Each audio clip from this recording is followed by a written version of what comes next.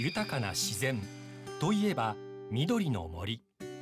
そして海です。いや海を眺めているだけでなんだか気持ちが癒されます。地球環境において重要な役割を担っている海。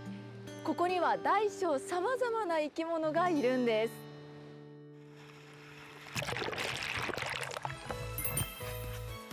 海の生き物たちにはまだ知られていない謎と不思議がいっぱい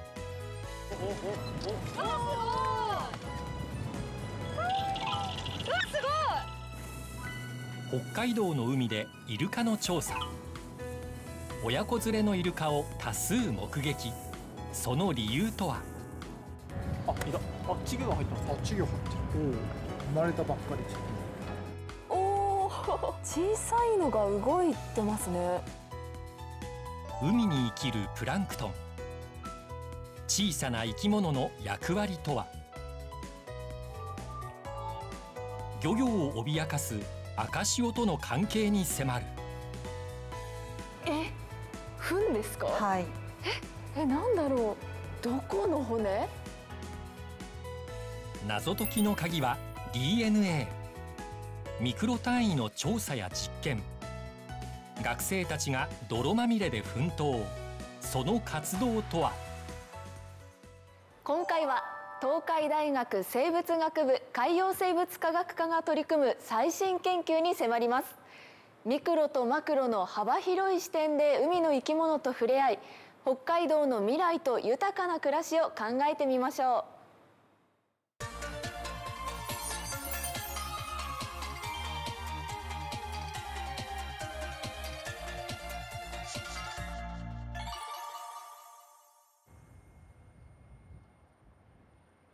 全国にキャンパスがある東海大学。中でも札幌にある生物学部海洋生物科学科が目指す学びとは？海洋生物科学科のキーワードとしては海を知るということと,、えー、と海を生かすということになります。海を知るというのは、まあ、プランクトンから、まあ、魚介類そして大きいものになると鯨類とか幅広く生物と生態系に関することを知るということと海を生かすというのは水産業もしくはその他産業に海をまあ利用していただくための研究と。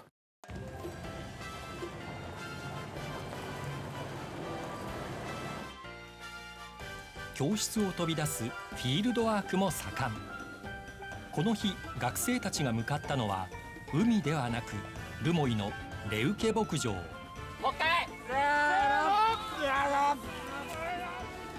掘り出しているのは数年前に寿命を終えたミンククジラ。海岸から運んで土に埋めてあったのは骨を取り出しやすくするため。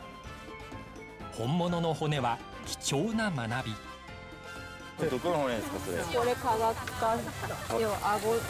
あのさほらこういう風になるじゃん、上顎か下顎かあれだけど、えー、すげえ。海の動物はなかなか見ることができないので陸と違って調査方法調査方法とかも難しいですし。学校で以前学んだ経済学的なことをいざ目の前で見ることができているのですごく興味深くて楽しいです。こちらはゴマフアザラシの骨格標本。留萌で集めたクジラの骨も標本にしますその実物に触れる機会って本当にないと思うのでもうみんな触ってウキウキしてほしいなとかこんなに大きかったんですねっていうのをもう肌で感じてもらえたら嬉しいな。鯨類と呼ばれるクジラやイルカを研究する北先生。夏は学生たちと一緒に噴火湾で泳ぐイルカを調査しています。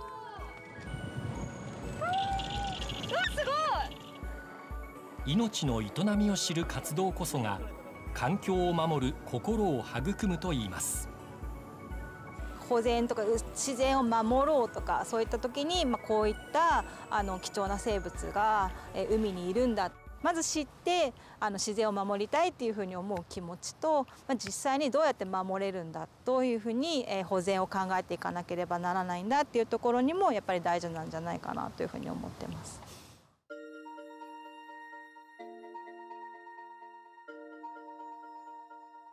日本海に面したスッツ。ここでもフィールドワークが行われています。独特な道具で何かを集めている様子ですが。ゆっくりお願いします。はいよ何かやってますよ。えなんだろう。こんにちはあこんにちは。こんにちは。すいません。今何されてるところですか？今はですね動物プランクトンの採取をしているところです。あ動物プランクトン、はい。なんか白い網みたいなのありますけど。そうですね。これがあのプランクトンネットと呼ばれるものでこの辺のですね港の中のプランクトンを取ってます。え。ー、あいた。あ入ってますああいるね。探しているのは動物プランクトン。海に住む微生物で種類は数千以上とか。その姿を調べてみると。おいろいろ動いてますよ。えなんかエビっぽいようなものもいますけど。これはですね動物プランクトンです。動物プランクトン、はい、ね、動物プランクトンが多いっていうことは、まあ、それを食べる小魚とか、まあ、生物が増えるので、まあ、漁獲量の増加につながったりします。なるほど分布であったりどんな種がどのくらい出てきたかなどの個体数のことであったりそれを調べることによって海洋環境を予測するであったりとかの楽しみなどもあるのではないかなと思い研究を続けております。海洋環境を研究する野坂先生の専門はプランクトン学。学生たちとほぼ毎月スッツの海に通い研究データを集めています。野坂先生は子どもたちにも海洋生物科学の楽しさを伝えています。東海大学の船に乗り込んで沖合での研究も行っています。海のプランクトンのこともっと詳しく知りたくなってきました。研究の現場を訪ねてみましょう。ここは野坂先生の研究室無数に存在するプランクトンを毎日観察するという学生も。海の根本的なところってやっぱりプランクトンとかそう小さな生物からだと思うのでそこをやっぱり学べてるっていうのが一番楽しいことかなと思ってます。ちゃんと自分の目で見て調査するっていうそのリアリティを体験できるのでとても楽しい。おおなんか小さいのが動いてますね。今見ていただいているのは植物性のプランクトンです。えー、それを起点として、えー、さらにその植物を食べる生物動物プランクトンがいて、えー、小型魚類それから大型の魚類魚ですね。それに、えー、食物連鎖で食う食われるの関係がつながっていきます。植物プランクトンがいないともう私たちにも影響が出るっていうことですか？そうですね。おそらくいなくなってしまうと魚介類なんかほとんど食べれなくなってしまうと思います豊かな海に欠かせない植物プランクトンの存在。さらに地球環境に欠かせない役割も。植物プランクトンは光合成を行いますので地球温暖化というふうに叫ばれていますが実はその二酸化炭素を吸収する、まあ、生物ですね。としてもあの重要な役割を担っています。イメージで言うと大体光合成するのは、まあ、木とか葉っぱとかその陸上のものなイメージなんですけども。実は海にこう生息している植物プランクトンは地球全体のうちのおよそ半分ぐらいの二酸化炭素を吸収して酸素を出しているというふうに言われています。言い換えると我々の吸っている酸素の半分は実はどっかの海からあの生産された酸素なんです。海で光合成を行うミクロ単位の生き物命の源でありながらまだ謎がいっぱい。先生は植物プランクトンを見るとどんなお気持ちになりますか？はい、えー、やはり小さい生物ですので人間の肉眼じゃ見えない。これにロマンを感じますよね。こんなちっちゃい生物が地球温暖化に役立っている。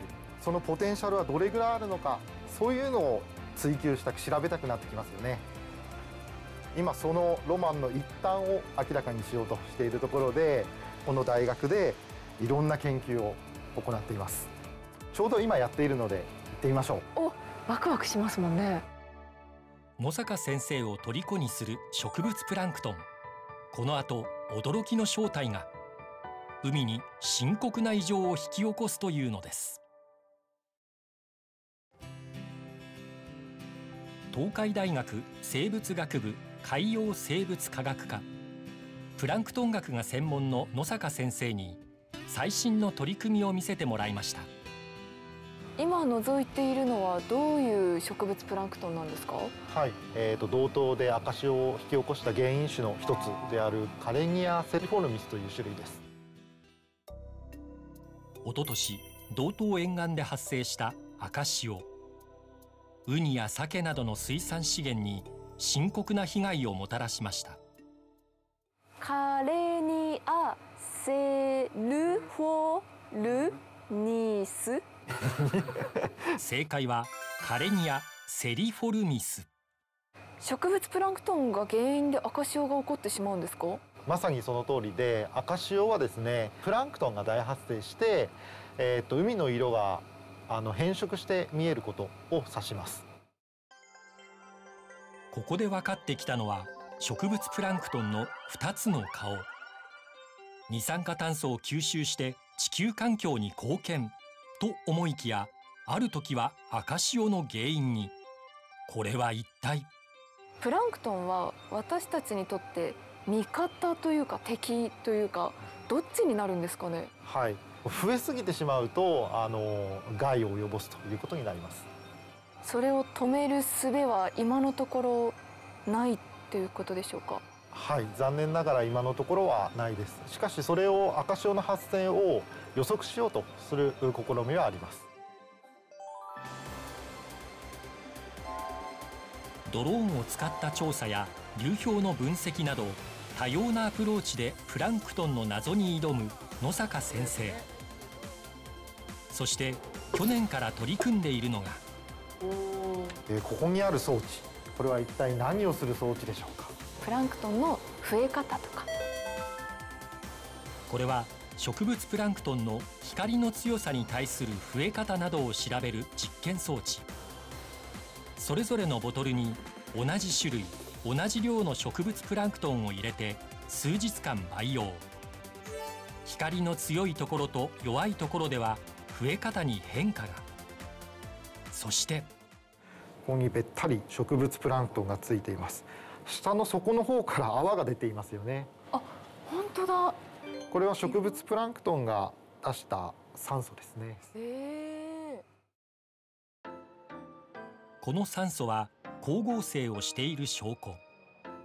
ここで得られるデータは将来の赤潮発生予測の手がかり。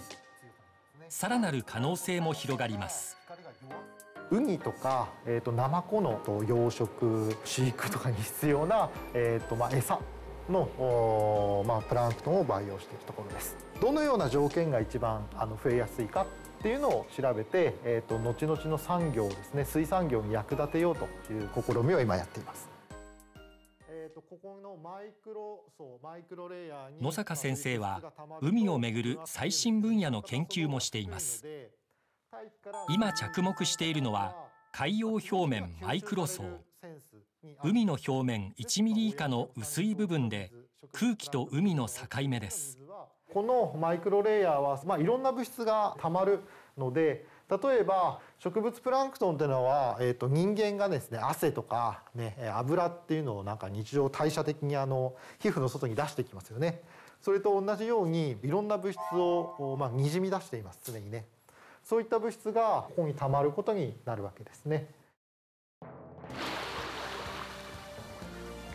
これが海洋表面のあのマイクロ層って呼ばれるところを取る、まあ、装置というか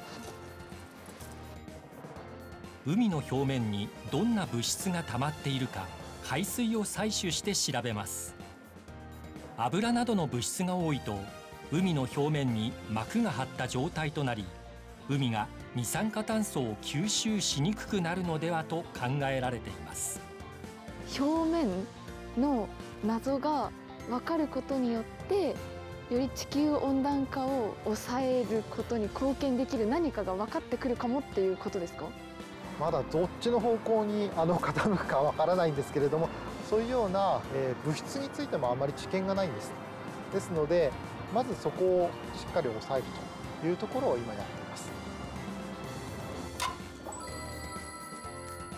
まだよく分かっていないからこそ研究への思いが熱くなるようです。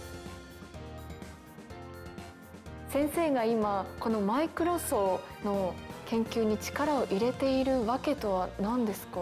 はい、えー、やはり一番はよく分かってないっていうのが一番大きいです。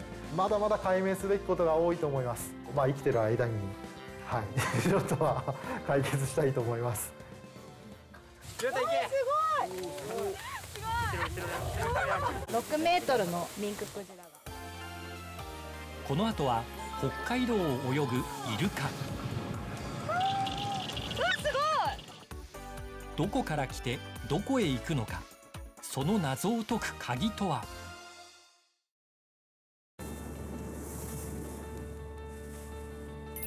夏の観光で人気のホエールウォッチング。室蘭周辺の噴火湾に姿を現すのはカマイルカです。イルカの多くは群れで移動。毎年5月から8月頃にこの海域に現れます。イルカやクジラを研究する東海大学生物学部の北先生。まだ生まれたてのイルカや寿命を終えたクジラなどからもデータを収集。謎と不思議の解明に取り組んでいます。イルカとクジラっていうのは4メートル以上がクジラ4メートル以下がイルカで実はどちらもクジラの仲間なんです。えー、知らなかった。室蘭ではどんな調査をされていらっしゃるんですか？と室蘭には、えっと、大体5月下旬から8月上旬にかけてカマイルカが来遊してくるんですけれどもおそらく、えっと、3月から7月にかけての津軽海峡を通った一派が室蘭にやってくるというふうに考えられてます。噴火湾という海域が唯一子育てとか繁殖の場だというふうに言われているんですよねでそこでどれくらいのスパンで出産を育児を行っているのかですとかそういったことを調査しています研究成果の一つ個体識別カタログ。ここで紹介されているのは225の個体。噴火湾で頻繁に見られるイルカです。1個体ずつに名前代わりのナンバーをつけてそれぞれを見分けながら行動を記録しています。個体識別を可能にしたのは3万9182枚の写真画像膨大な数の画像をどのように読み解くのか。大竹アナウンサーが体験すると。えー、全部なんか似ててよくわからないんですけど。同じイルカか違うイルカか。個体を見分けるポイントは背びれの形と傷跡の特徴 AI を活用した解析も進められているそうです。これってどうやって読み取るというか紐解いていくんですか？この75番という個体は2013年と14年に発見されていて15年と16年は目視されなかったんですけれども17年に子育て子供を連れてやってきた。子供を育ててるシーンが撮影できたということは出産子育てのために再び噴火湾を利用するために来遊したっていうこともこれで考察ができますよね。じゃあどこかで出産をしたっていうことですか？噴火湾で出産した可能性が大きくてあの噴火湾ってすごく浅いんですよねあの一番水深が深いところでも100メートルっていうふうに言われていますしあの餌がすごい豊富っていうふうに言われてますのでその子育てに適した場所っていうふうに考えられています。室蘭周辺の噴火湾は子育てをするイルカにとって特別な海。命を育む環境を未来へとつなぐ最新の取り組みとは？イルカは、えっと、群れになる動物習性がありますのでその群れ関係が、えっと、親子関係なのかそれとも全然違う血縁関係がないたまたま集まった群れなのかそういったことを研究しています。イルカのことをもっと知りたい。その手がかりの一つが。これなんだかわかりますか？えなんだろう白い粉ですか？触ってみますか？えいいんですか？え？ー、海底の砂とかですか？これは実はイルカの糞なんですよね。糞ですか？はい。この糞から何が分かってくるんですか？例えば DNA を取ることによってその個体ごとの関係を調べることもできますし。糞から DNA を抽出。それを解析すると親子関係などそれぞれのイルカの関係性がわかるそうです。貴重なイルカの糞。実はこれ伊豆諸島の三倉島で採取されたもの。人気の観光資源イルカと一緒に泳げる海を守ろうとする調査の一環です。ダイビングその遊泳技術も必要ですしあの取るタイミングももちろん見計らってないといけないですしハンドクリームとか塗るチューブありますよね、はいはい、そのチューブをあの使って糞をしたと同時にズボって取る。冷たい北海道の海ではダイバーがイルカと一緒に泳ぐのは困難。そこでこんな方法を考えました。今注目しているのは彼らが出す噴気ですねあのプシューっていうやつですよね。その噴気を取ることによってそこから DNA を抽出することによってあの個体識別ができないかなというふうに今考えているところです。なるほど、はい、DNA を採取する方法は他にも。一つは唾液。シャチなどに食いちぎられた魚から見つけることができます寿命を終えた個体の骨を使った DNA 解析も。イルカの秘密を紐解きながら北先生が見つめるのは次世代のこと。海や海の生き物はどういった存在ですか？まあ、本当に未知の生物だと思っていてその、まあ、宇宙に近い場所だと思ってます。イルカとかクジラがこの地球上海の中にいるっていうこと自体を知らないというような世代が生まれてくる可能性もあると思うんです。でそういった子たちにこういった生物がいるんだよっていうことをどういう形で教えていくかっていうのは私たち研究者の課題なんじゃないかなというふうに思っています。最新研究に触れて海と地球と私たちが密接につながっていると改めて気づかされました。